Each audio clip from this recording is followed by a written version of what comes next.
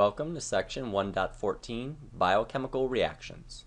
Uh, so now we're going to move a little bit more into the idea of chemistry and how it relates to biology. Uh, we've talked about a lot of these macromolecules, these polymers, the stuff that makes up living organisms, but now we're going to talk more about how we manipulate the stuff that makes us up. Essentially, like what are some of the ways in which we can take smaller pieces of matter, smaller molecules, and make bigger molecules? You know, how can we take these bigger molecules and break them down? And that idea is going to come back to chemical reactions. And so when we talk about chemical reactions, it's important because we have to realize that as biological organisms, as much as you might think biology is not supposed to be chemistry.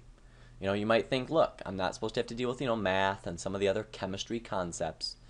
But when it comes down to it, biology is really just applied chemistry because all of us are made up of these organic and to some degree some inorganic chemicals, and that's how we stay alive.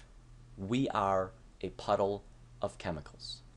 The reason we're alive is because the puddle of chemicals that we have does the appropriate chemical reactions at the appropriate time. So this is like a symphony of chemical reactions here that keeps us alive. If they stop doing the right reactions to allow us to maintain homeostasis, to grow, to have the genetic molecules that we need to pass things on, to have the energy molecules that we need to function, if any of those things break down that are essential to life, you become just a puddle of chemicals. And then ultimately, decomposers will come in, they will break your body down, and your body will not disappear in a sense. It will no longer exist as it did.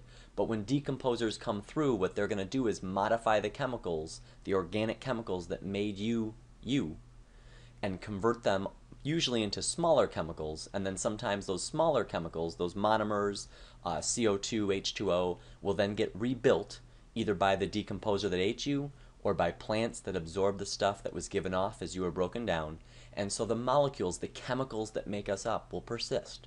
So it can be a reassuring idea if you want to know that you have atoms and molecules in your body that likely passed through dinosaurs and mammoths and most people in history.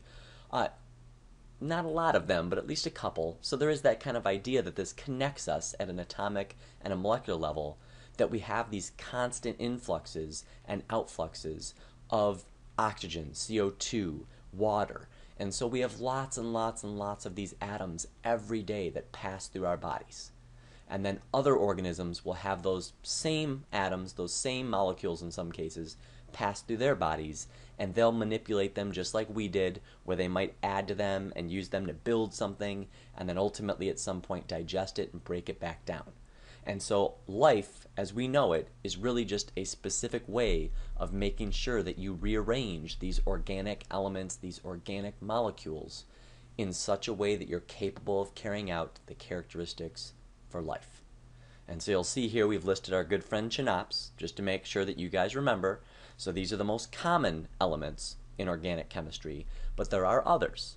But these are some of the most common guys that if you have a lipid, you're going to have a lot of carbon and hydrogen and a little bit of oxygen.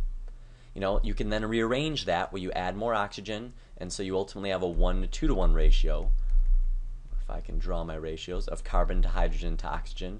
And by doing that, what you'll get is a carb versus a lipid.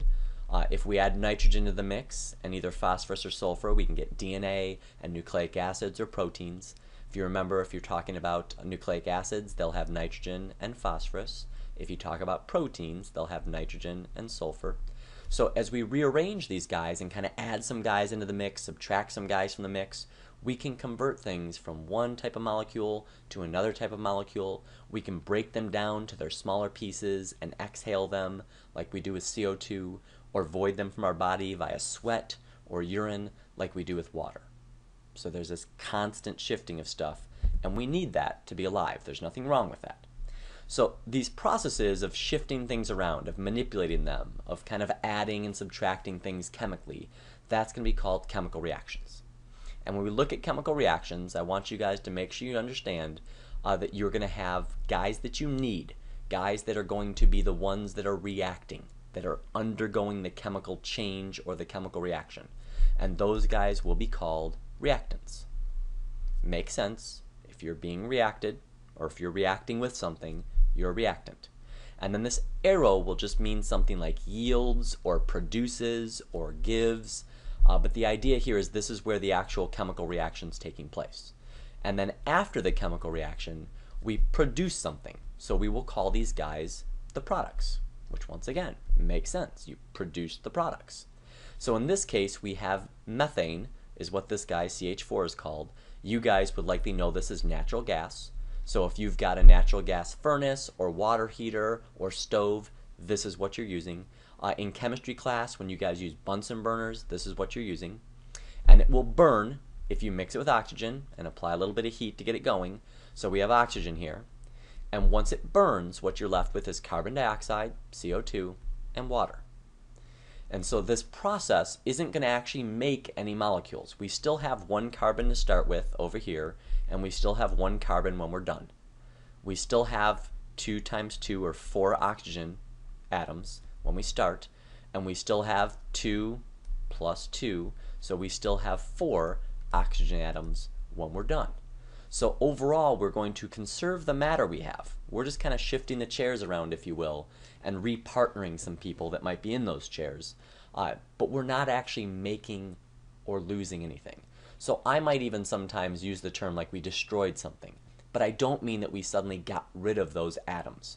What I mean is we rearrange those atoms so the original substance, like maybe it's a sugar, the original sugar doesn't exist anymore in that form it's been converted to something like carbon dioxide and water, and then carbon dioxide and water can, in many cases, leave the organism. You know, once again, you can breathe out the CO2. The water can leave via a variety of processes, uh, but easy ones, once again, would be like sweat, tears, urine. Uh, so we can easily have where these molecules can be converted, and then in many cases, as a biological organism, we constantly are going to have where a lot of these chemicals are going to be going in and out of our body. And so this is why we talk about this idea that you can have atoms and molecules from a T-Rex. No problem. I guarantee you do. Because there were a probably quite a few T-Rexes and they had lots and lots and lots of atoms and molecules pass through their bodies throughout their lifetime. And we have lots and lots and lots of these atoms and molecules that pass through our bodies. Every time we breathe out, we're letting loose a really large amount of CO2 molecules just from breathing out. You know, every time you go to the bathroom, you have tons of molecules that you're losing just by doing so. So we have a constant influx and outflux of chemicals into and out of our body. So it helps sometimes not to think of the fact that you have somehow fixed molecules. You know, you might have fat stored, but oftentimes even that stored fat will be burned and replaced. So it's not like our molecules tend to be that static with us. I know sometimes people like to think that if you have fat, it stays with you. And a lot of people think, you know, well, I didn't lose weight. But just because you even have something that appears to stick around doesn't mean you're not constantly replacing it. Take, for instance, your skin. You know, hopefully it seems like you always have a layer of skin. If not, see your dermatologist. Uh, but if you look at your skin and you watch closely, and some of you guys might notice this, if you have flaky skin, you're constantly losing it. We're constantly producing new skin cells as we lose the old ones as they die and basically fall off. This is how things like bloodhounds can track you, is they can detect all the stuff that's falling off of you, and they can use that to follow your scent because they have a really good nose.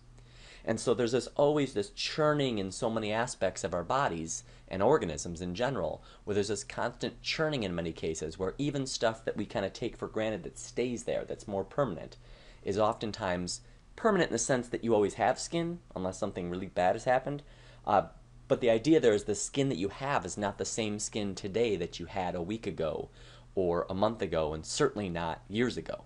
You know, that skin's been replaced many times over. It's just a gradual replacement, so we don't notice it. So there's this constant shifting of, of atoms and compounds within our bodies. And then lastly, we can go into kind of just this idea of what happens when we go through a chemical reaction. And I want you guys to realize that when we go through and change these bonds, when we rearrange stuff to get something new, so what we're looking at here is photosynthesis, where we've got carbon dioxide and water. We'll use the energy from light to give us a sugar, in this case glucose is what we call this, uh, and oxygen. And so what I want you guys to realize is when we do this process, and when we change these bonds, when we rearrange the elements, even though all the same atoms, all the same elements are still there at the end, that were there at the beginning. If we change bonds at all, it's going to cause a change in characteristics. And so what this means is they won't be the same guys. They won't behave the same way. They're not capable of the same things. You know, CO2 is fundamentally and completely different when it comes down to how it behaves from glucose. You know, we can breathe in CO2 and we don't get any energy from it. A plant would be able to use CO2 with light energy to make something useful, to essentially make their own food. But for an animal, CO2 is a waste. Whereas glucose, as an animal, we can eat and we can break down. And plants, in many ways, can do so as well. They can also break down their sugar, but they don't have to usually worry as much about it. They don't have to eat sugar, let's put it that way, because they can make it themselves using CO2. We can't do that chemical reaction. And so the idea there is that CO2 is not interchangeable with glucose, even though we use the same molecules to make that glucose that we had at the start. So even though we shift stuff around, I want to make sure you guys realize that's going to give you someone that's going to be a new chemical. It's a chemical change, as we call it, where the new chemical has brand new properties. You can't just interchange them despite what it may superficially look like. You know, water is not the same thing as oxygen. Even though we took the oxygen or the oxygen molecules, or the oxygen atoms, I should say, to make the oxygen molecule, even though we might have taken them from water, it's not going to have the same characteristics. So when we talk about these chemical changes, when we talk about these chemical reactions, just keep in mind that once we do the chemical reaction, we're going to end up with something different. And that something different is not necessarily going to be at all related in function, in structure, to what we started with. And so you can start off with something that ultimately is toxic or, or, not useful to our body, and after a chemical reaction, come up with something that's fairly essential where you can make something like enzymes, you can make something like proteins, nucleic acids, things that we need and that benefit us greatly. And the very last thing at the bottom here, just to prove a point, uh, these are basically three different sugar molecules that all have the exact same chemical formula. So they're made up of essentially the same atoms, the same ratio of elements, but they're just assembled differently. So you can see here when we talk about glucose, you've got this double bonded O that's on the end, okay? And then you've got ultimately three OHs that are on this right-hand side. When you look at mannose, it also has a double bonded O on the end, but notice how it's got two OHs on either side. So it's not this whole three and one. So that's what we see here is kind of three and one. It's two and two. Just small shifts in just where we put OH groups. It's the same general stuff, but it's going to have different characteristics. It's a different sugar. And then fructose is also going to be probably the worst sugar of all of them, at least for our health. And you can see all it's done really is just move this double bonded O just a little bit further in. It's not on the end. And so even though we all these guys have the same chemical formula, all these guys are going to be C6H12O6. Despite that, each of them will be different. We call them isomers, where each of them has their own unique characteristics. Each of them can be good or bad or neutral based upon just the way we arrange the atoms that they possess. So any type of rearrangement, even if it's not actually losing or gaining an actual element or atom, can still give you something brand new.